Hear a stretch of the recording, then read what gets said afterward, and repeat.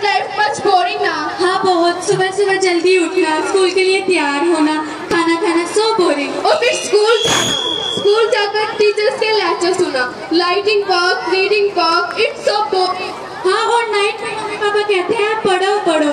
कि हम पूरी लाइफ पढ़ते रहेंगे? यही तो कारण है कि कुछ बच्चे स्ट्रेस के कारण सुसाइड कर लेते हैं।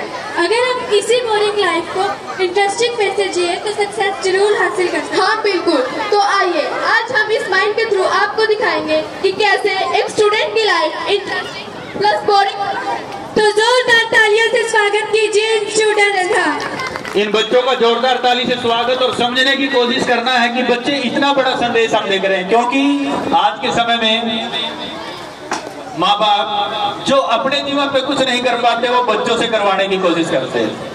बच्चों पर लाद देते हैं वज़न और उसी से संबंधित ये एक्ट है, जिसको आपने ध्यान से देखना है और एक मैसेज लेके जाना है और बच्चों को